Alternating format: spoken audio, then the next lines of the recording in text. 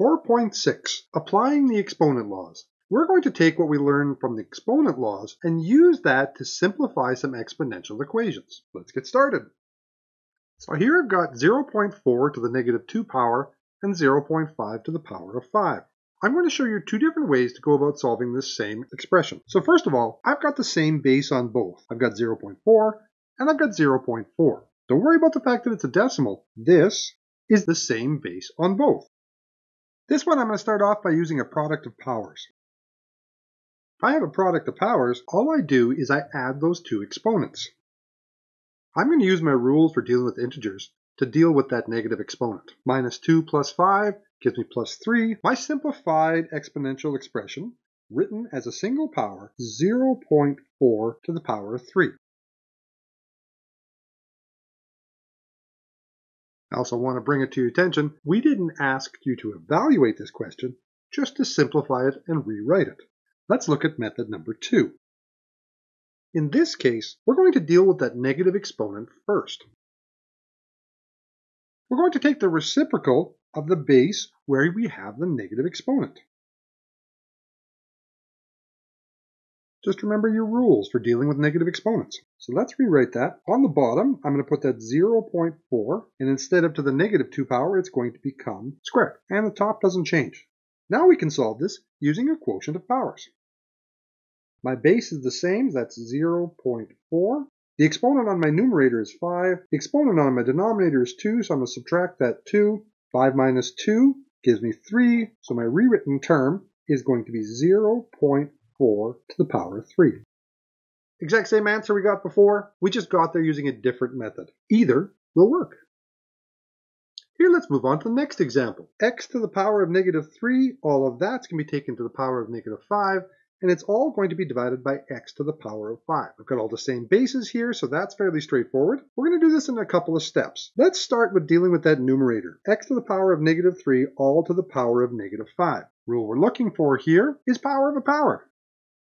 In the case of a power of a power, you take those exponents and you multiply them together. So I'm going to rewrite the bottom because that doesn't change. I've got x to the power of 5, and on top I've got x, and I'm going to multiply the minus 3 and the 5. So that becomes x to the power of 5 on the bottom, minus 3 times 5 gives me x to the power of negative 15 on top. Next I can use the quotient of powers rule. In that case, I've got the same base, I'm going to subtract those two exponents. My base is x, Minus 15 minus 5 gives me x to the minus 20. Now we don't want to leave it as a negative exponent. We're going to correct that. We're going to turn it into a positive exponent. We're just going to use our methods for dealing with negative exponents. I'm going to take the reciprocal of that x and rewrite the power as a positive. It becomes 1 over x to the power of 20.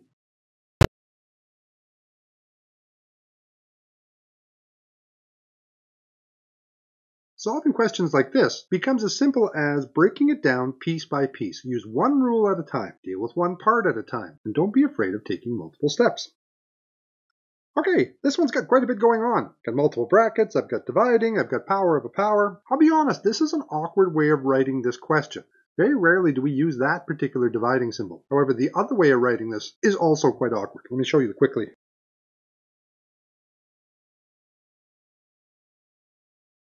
So there's the other way of writing it. I personally find trying to write a fraction over top of a fraction. It gets to be a bit much. There's one of the few cases you'll catch me using that other dividing symbol. Let's get rid of that. Alright, so when I start looking at this, if I follow my Bedmas rules, which normally are a good idea, if I look at this one, if I start squaring this, the round brackets on the first one and taking the round brackets on the second one to the power of 4. The problem with that is I'm going to start changing my bases. Right now, I've got the exact same base of a negative 4 fifths, and I don't really want to mess with that. So what I'm going to do instead is I'm going to deal with that power of a power, and I'm also going to deal with that power of a power right there. I'm going to try and keep those bases the same for as long as possible. Let's do that first one. Let's do that first one. My base doesn't change. When I do power of a power, I multiply those two exponents. I've got 2 times minus 3. We'll come back to that second one in a minute. Let's just finish this first one off. Base stays the same, and 2 times minus 3 gives me a minus 6. Let's go back to the other side. Still have that 4 fifths base, though in this case, my exponents are 4 times 5. Base stays the same. 4 times 5 gives me 20. From here, I'm going to use my quotient of powers rule. Quotient of powers rule states if you're dividing two exponential expressions with the same base, you can subtract the exponents. Well, my base stays the same, negative 4 fifths. I'm going to take minus 6 and I'm going to subtract 20 from that. That equals minus 4 fifths. Still haven't changed that base. Minus 6 and minus 20 gives me minus 26. And last but not least, we don't want to leave a negative exponent, so I'm going to rewrite it with a positive exponent. To deal with that negative exponent, I take the reciprocal of the base, which in this case is now going to be negative 5 over 4, and rewrite it with a positive. Negative 5 quarters to the power of 26.